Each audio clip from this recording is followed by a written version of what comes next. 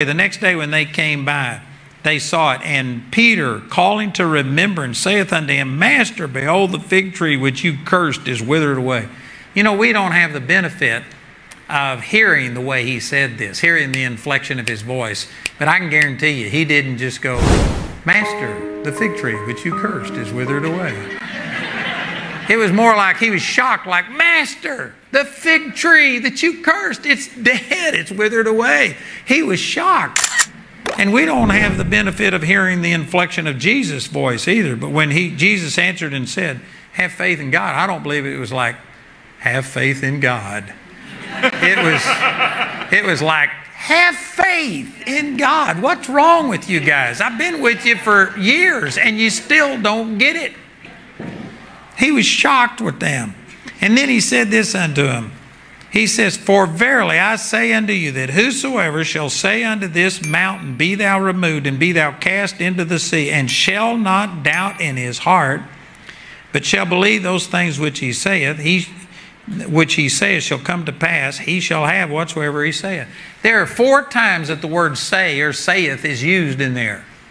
And three of them he says, Whosoever will say unto this mountain, and I don't believe he's talking about or limiting it specifically to a physical mountain. He's just talking about to whatever your problem is. Whatever your problem is, speak to it. Whosoever will say to this problem, Be thou removed, be thou cast into the sea, and shall not doubt in his heart, but shall believe that those things which he saith will come to pass, he shall have whatsoever he saith.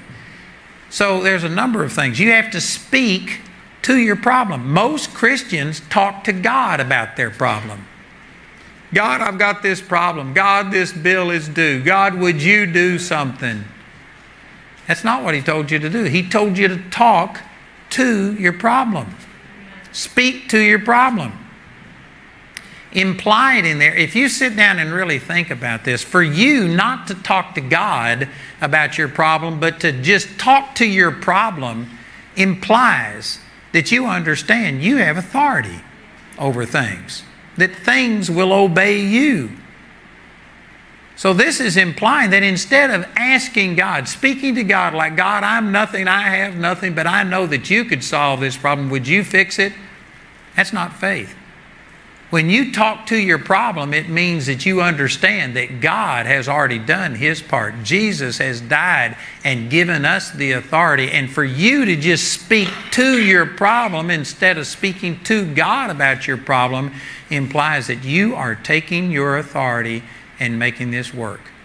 So you speak to the mountain and don't doubt in your heart, but believe that what you say comes to pass. You will have whatsoever you say.